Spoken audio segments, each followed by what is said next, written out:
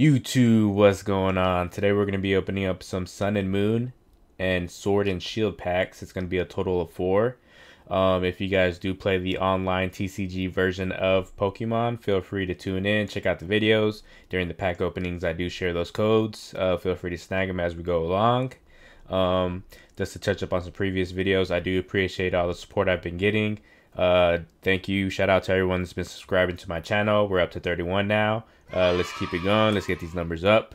Uh, if you guys enjoy the content, drop a like, leave me a comment. Uh, just let me know what I can do to make these videos better. Um, going forward, I did pick up a lot of Vivid Voltage uh, booster packs. I got a booster box. I want to say that comes with like about 36 packs or something like that. Uh, I also picked up two Elite Trainer boxes and uh, a couple of random packs that came with like three Vivid Voltage booster booster packs. So uh, if you guys definitely want to see that Vivid Voltage opening, uh, drop a comment, let me know, and we will make that our priority for the next video.